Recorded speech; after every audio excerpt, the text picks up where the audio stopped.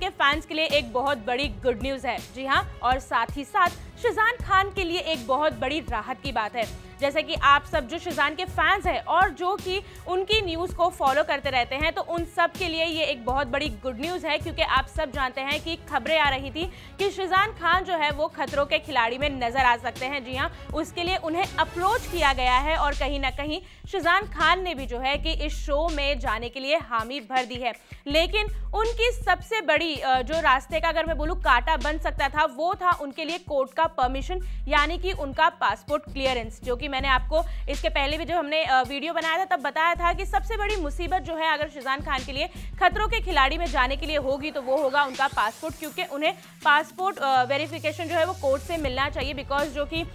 Tunisha Sharma case को लेकर जो उनके ऊपर केस है, उसके चलते जो है कि कोर्ट से उन्हें परमिशन लेनी होगी और सारा उनका बैकग्राउंड वेरिफिकेशन जो है क्लैरिफाई होना चाहिए। लेकिन मैं आपको बता दूँ कि आज ये मुद्दा हमारा किस बात पर है तो ये बात इसलिए है और शिजान और शिजान के फैंस के लिए ये गुड न्यूज़ इसीलिए है क्योंकि शिजान खान आप सबको कलर्स टीवी के मोस्ट पॉपुलर शो खतरों के खिलाड़ी में नज़र आ सकते हैं। जी हाँ उन्हें कोर्ट से परमिशन मिल गई है और कोर्ट ने जो है उन्हें अलाउ कर दिया है कि वो खतरों के खिलाड़ी में हिस्सा ले सकते हैं। जी हाँ आज ही उनकी सुनवाई थी और सुनवाई में जो है उनके लिए पॉजिटिव रिस्पॉन्स आया है और सबके लिए ये गुड न्यूज़ है कि वो अब जो है कि अपने फेवरेट कलाकार यानी कि आली बाबा को देख सकते हैं खतरों के खिलाड़ी में। काफ़ी ज़्यादा फैंस जो है कि वो परेशान थे एक्साइटेड भी थे और कहीं ना कहीं इस स्ट्रेस में भी थे कि क्या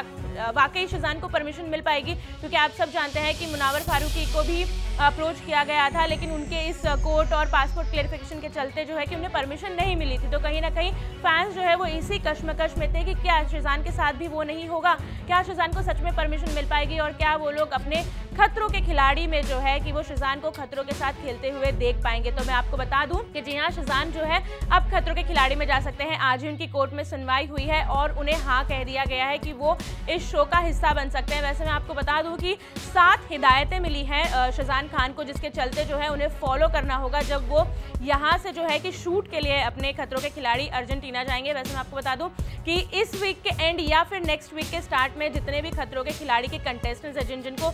अप्रोच किया गया है, जो फाइनल हो गए हैं, वो अगले हफ़्ते इस शो के शूट के लिए अर्जेंटीना के लिए रवाना होंगे। तो जब